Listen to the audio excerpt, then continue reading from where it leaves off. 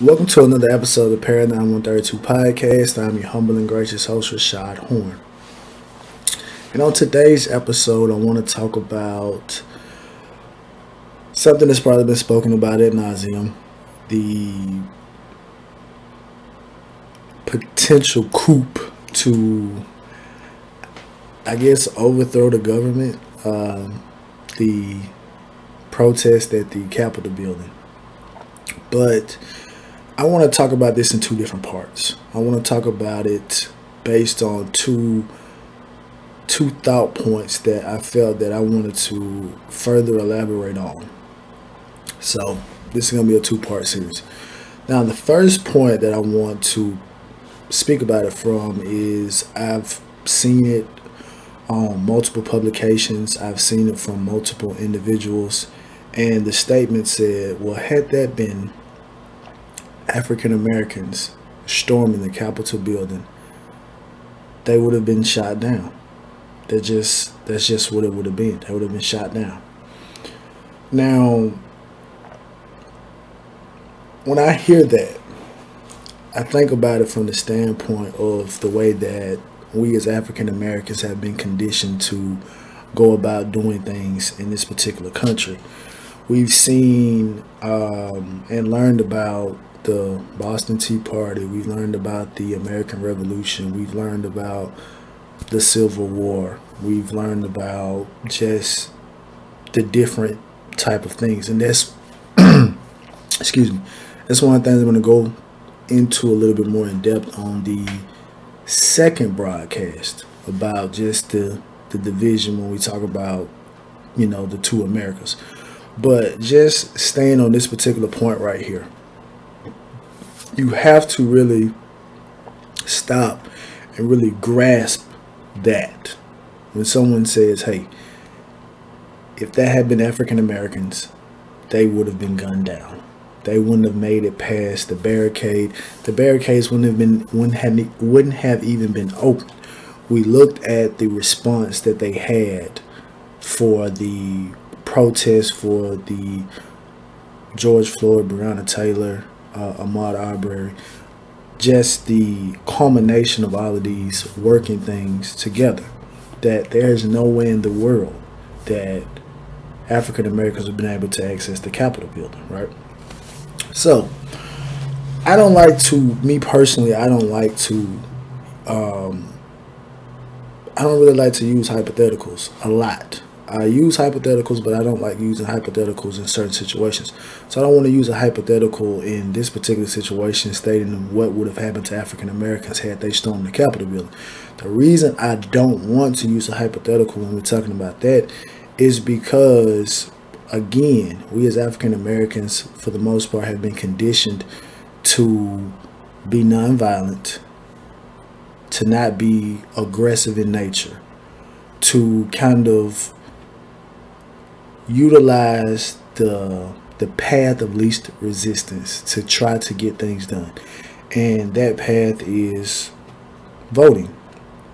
That path is I'm not here to poke fun at anyone's um, religion or denomination, but to kind of go and just to pray about it, right? So when we look at those two main things, I don't want to use the hypothetical about what would have happened had there been African American storming the Capitol building because ultimately I look at it from a standpoint that if that had been the case, and let's and, and if if we want to go hypothetical, African Americans have a bevy of things to be upset about, right? A bevy of things to be upset about. And at no point in recent history have African Americans displayed a a vengeful vengeful mindset, right? It's it's almost been predictable from the stance of something happens, okay, let's ride. Okay, let's let's ride. Let's let's do that. Um, you know, even in certain instances where they was talking about, hey, you know, they they burned down a police station, things of that particular nature. But to actually just go to the particular source, nah. The closest thing we had to that uh, was the March on Washington, as well as the Million Man March by organized by the Honorable Louis Farrakhan. And these two initiatives were going to be nonviolent, right? Obviously, we know Martin Luther King gave his I Have a Dream speech in D.C. Again, these were nonviolent type of things. And it's easy to say what would have happened, right? Because you kind of know a person. One of the, it's, it's interesting statistic that I want to to point out, right? And I'm going to go into two particular things where I feel like that we can't look at African Americans going to the Capitol building the same way as we look at white people going to the Capitol building, right? So these are the two, this is the statistic that I want to read out, and then I want to read out two uh, provisions that were set into place, right? So I got this stat from the National Review, and it said that 41% of white households say they own a gun, while only 19% of African American households say they own a gun, right? So that's a huge disparity in what we deem to be gun ownership.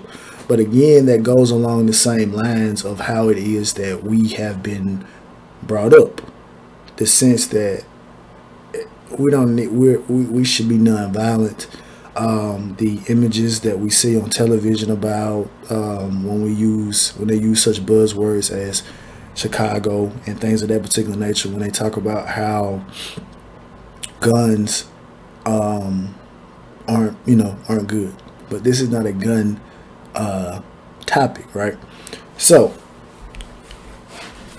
research. So I found an example it wasn't the nation's capital, but it was a federal building, right? So, in 1967, the Black Panther Party, they did go to the cap. They did go to a California Capitol building, armed, with guns, loaded, and nothing happened, right? But what did happen, they didn't get shot down. What did happen is the Mulford Act of 1967, which was introduced by Don Mulford. And this is what it stated. It says prohibited the open carry of loaded firearms within adium prohibiting loaded firearms in the state capital, right? So, a law was seemingly created. And the following year, we got the Gun Control Act of 1968 restrictions on who could have a gun, including age. Now, the reason I highlighted including age is due to the fact that there were members of the Black Panther as young as 14, 15 years, you know, 14, 15 years old, carrying loaded guns. Black Panthers taught their members how to clean guns, how to wield them, how to just utilize guns, right? So,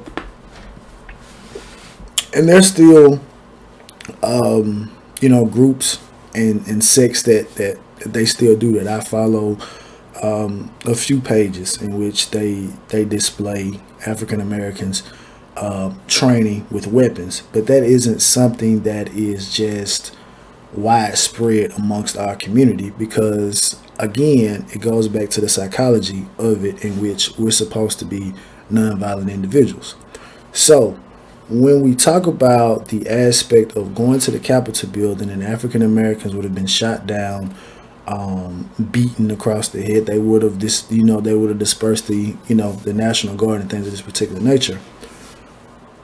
When you put it into the perspective of the psychology in which African Americans have been subjected to exhibit, then hypothetically, probably yeah. But if we are really looking at this in the sense of the way that those white men and women went into the Capitol building, and we put that same energy into African Americans, the energy of, you know what, I'm sick of this, I'm tired of this. They're going to go armed. Now, that is the interesting caveat that we have to take into consideration.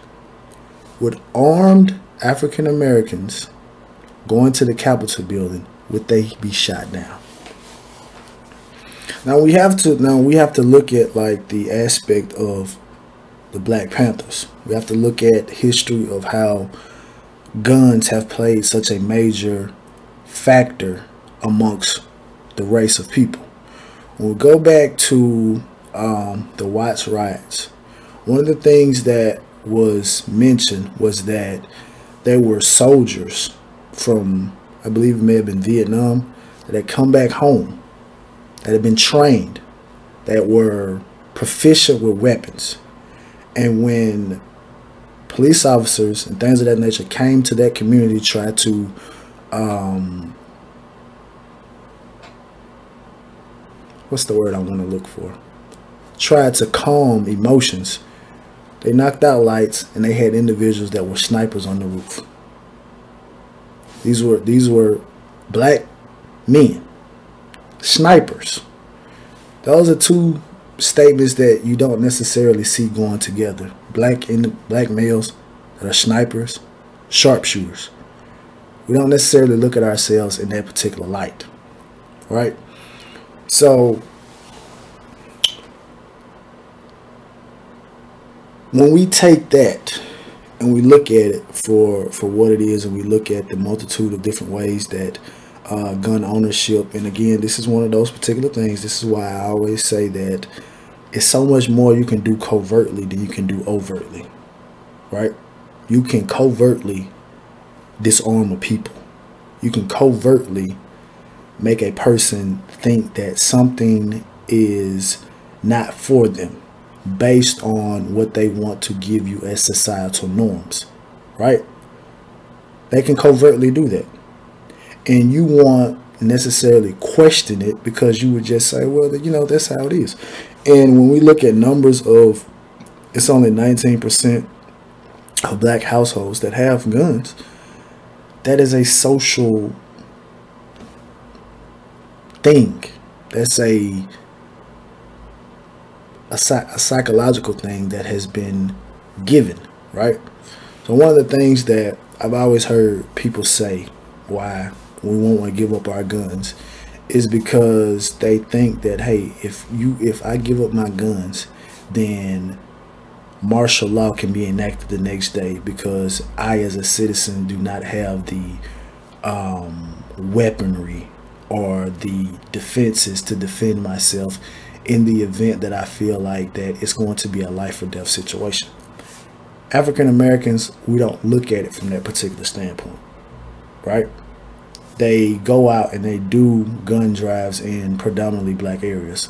Bring your gun in in exchange for money or whatever the situation is, and more than likely, you know, they'll do it because we don't necessarily think about it um, from that same standpoint because we don't again it's one of those things where it's like you know it is what it is right?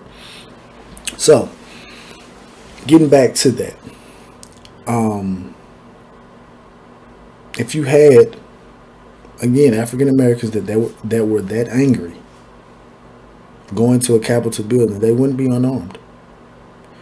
And they wouldn't be untrained so it's it's easy to to to to shoot down an individual that isn't going there for that type of conflict.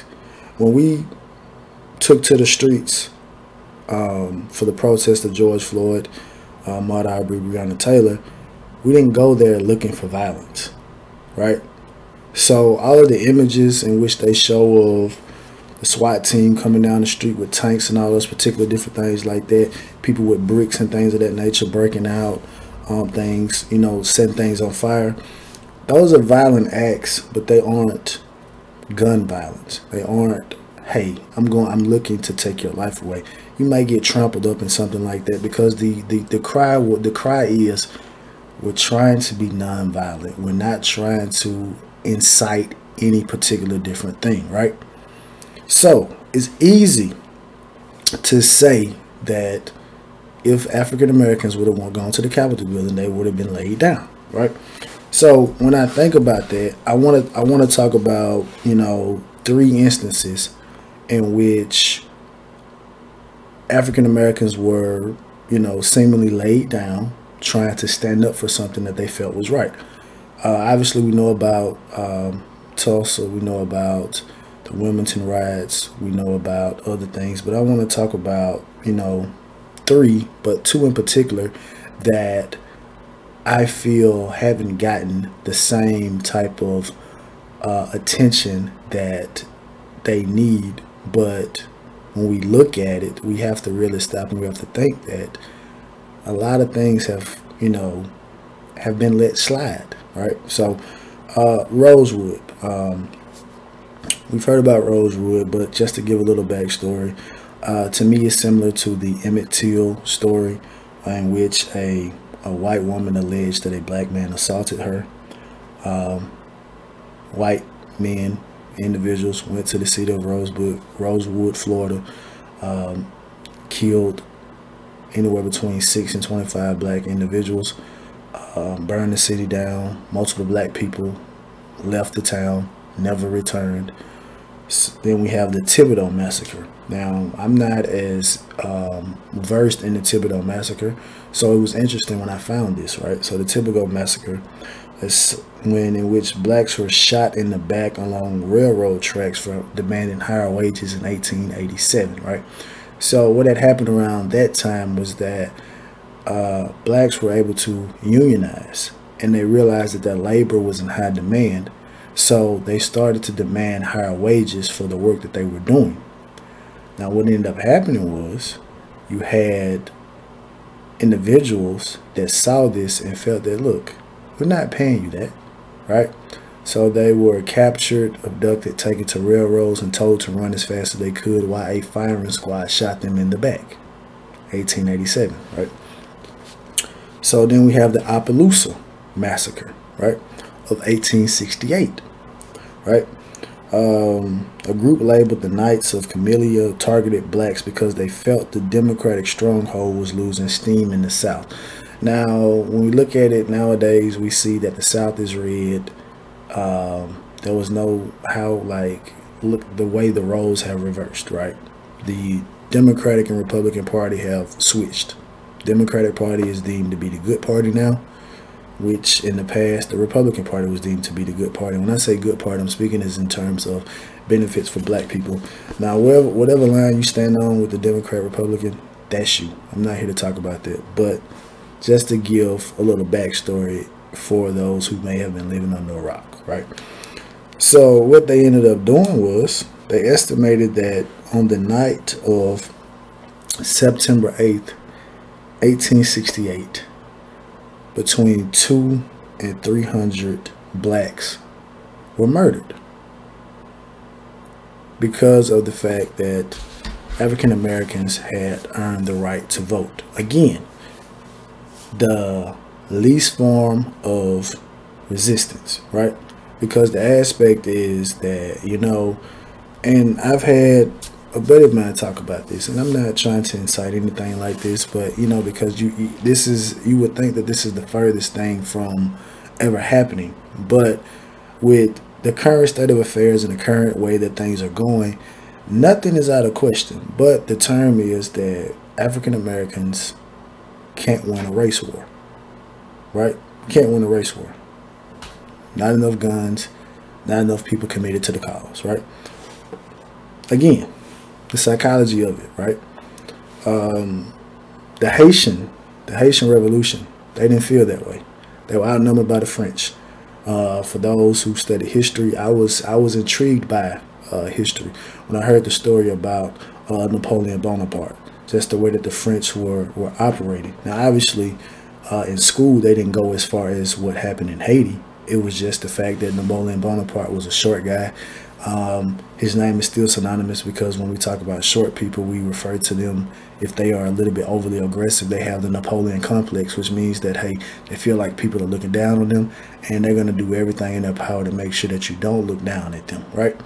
But when we talk about the Haitian Revolution, Haiti was outnumbered by the French, but Haiti defeated the French, right? And by them defeating the French, Haiti became a independent nation, right?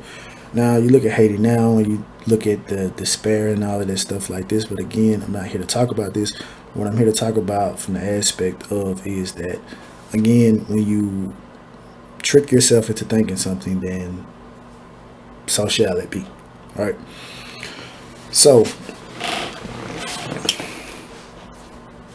hypothetically speaking, which, like I said, I don't like doing hypotheticals.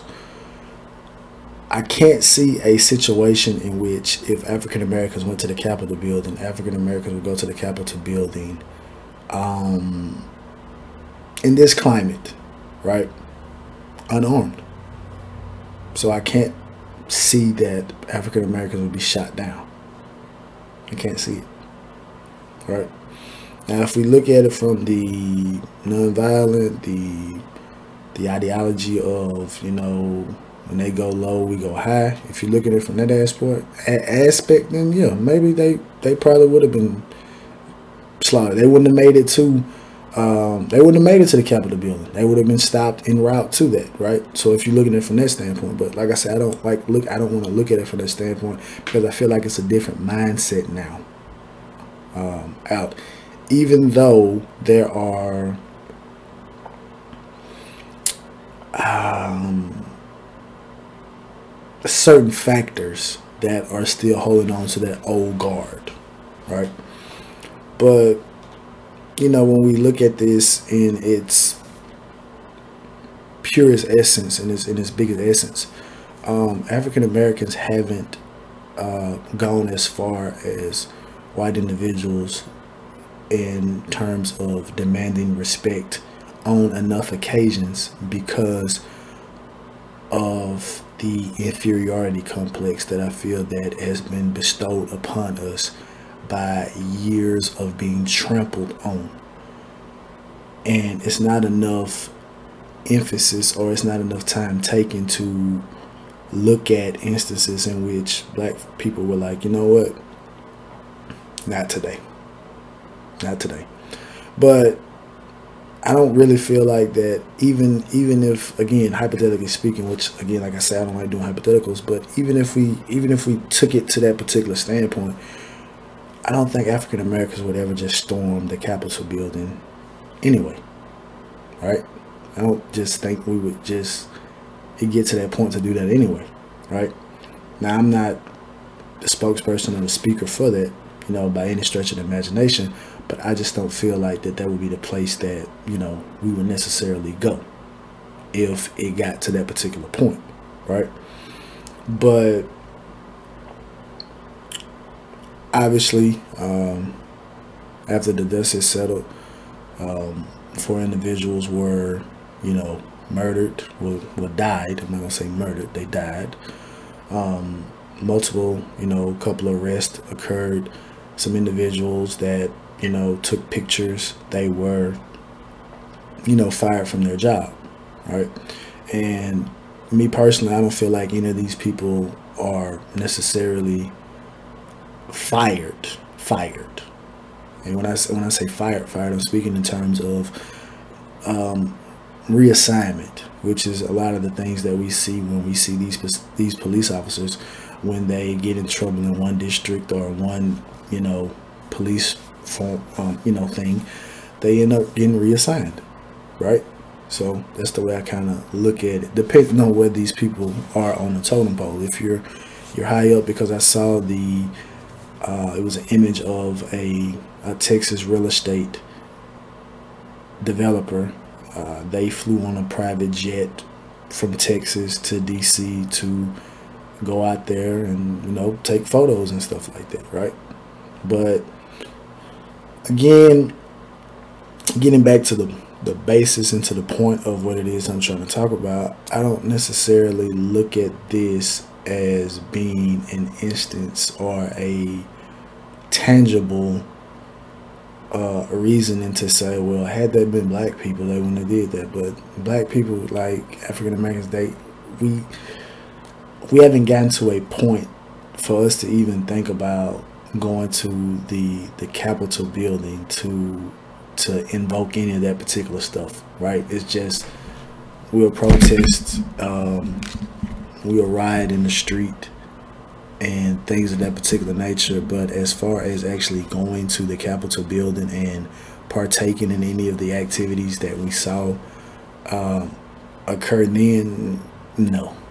And obviously, it's from that particular factor that you would we would go there unarmed, and yeah, and I gave three examples of what will happen if you you know you're doing something and you're unarmed.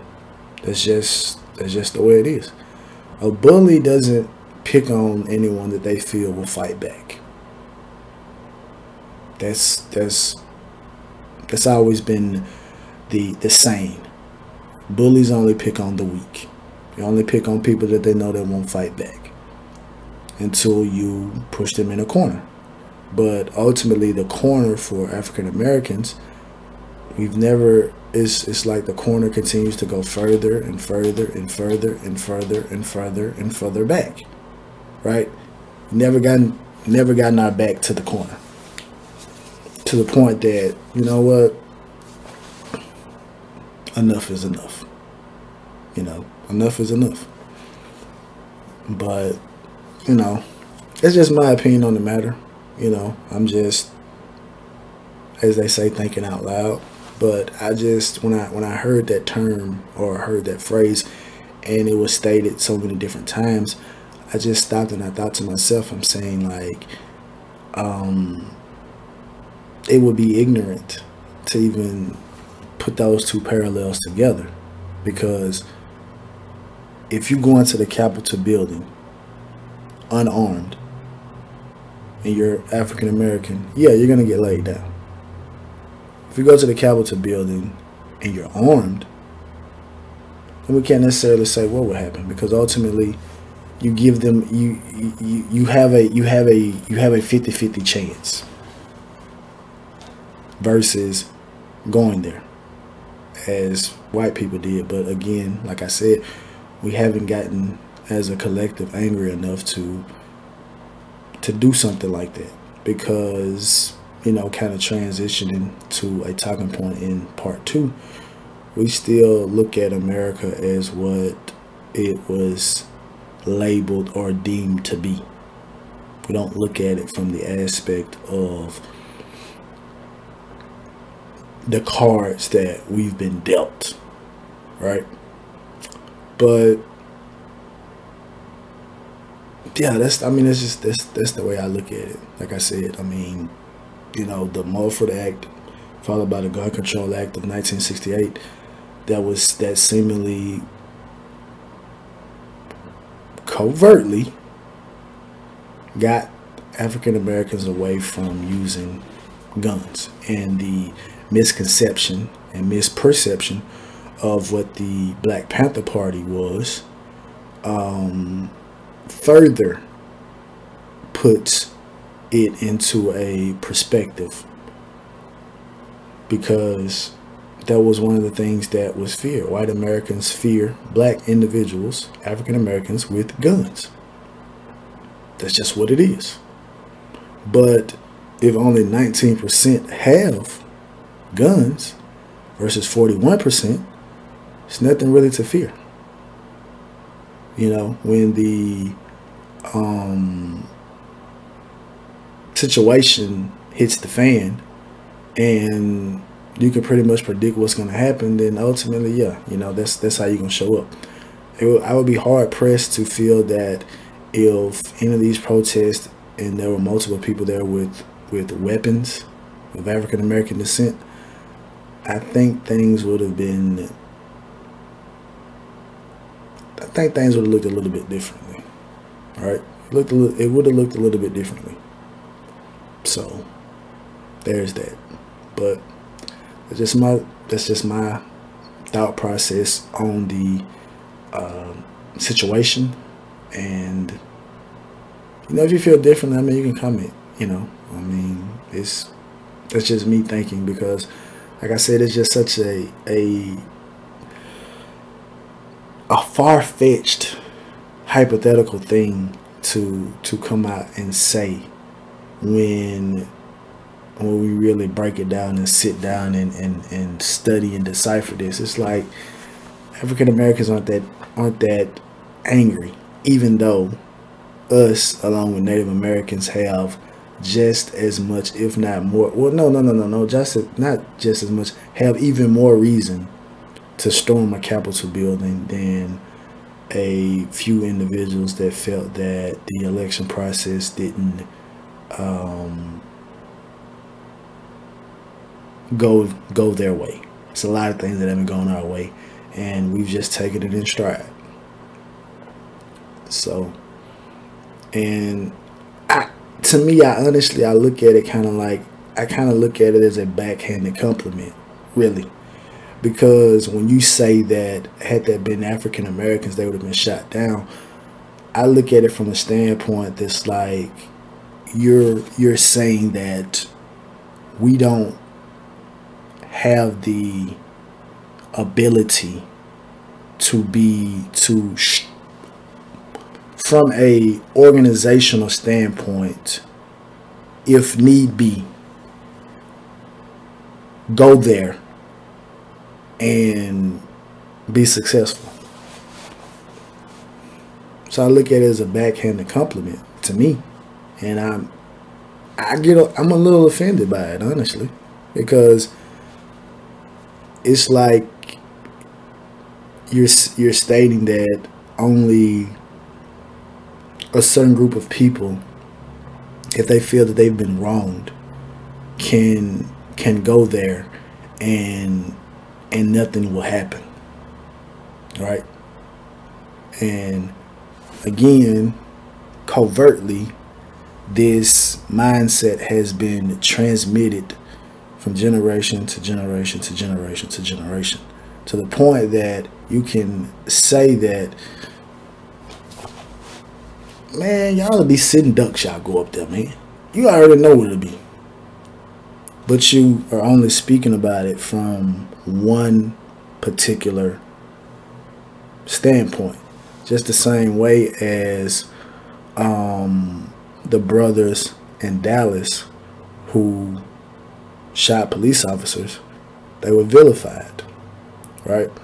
And then the brother who name escapes me right now, the brother who was so fed up with racism that he went on the Staten Island train and he shot any white person that he saw.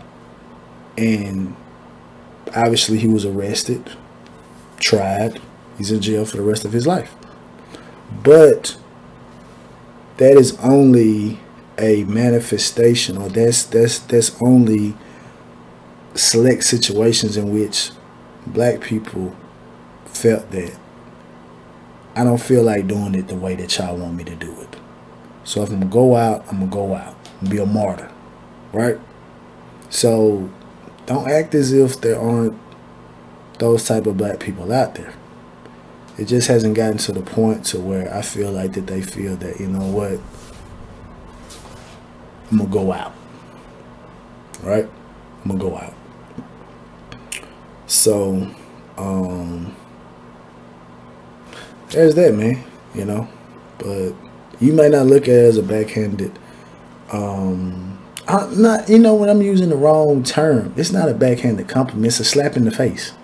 That's what it is. It's it's, it's a slap in the face because the priest, the the the people that are supposed to be the peaceful people.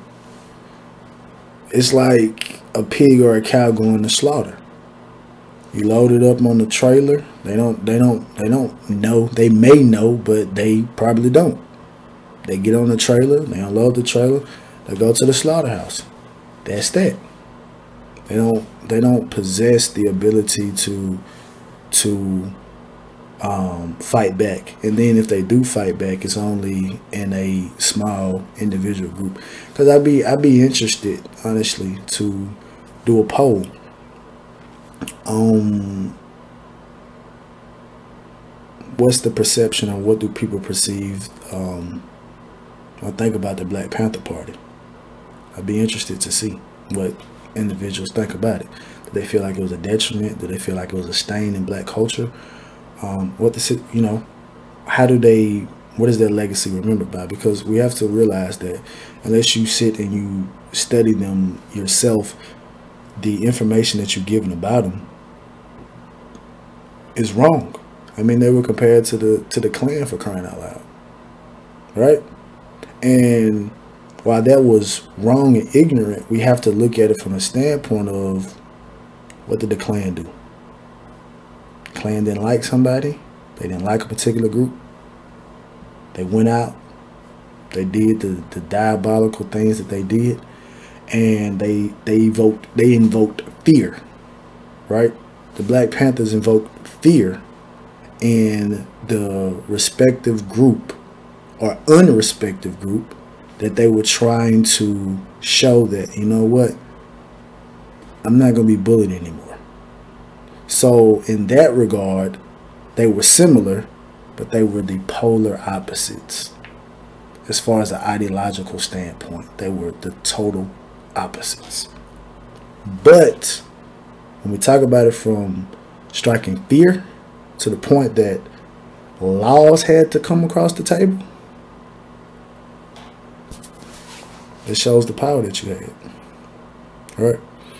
But that's the end of this um, broadcast. Um, stay tuned for um, next week when I attack it from a little bit more in depth perspective about um,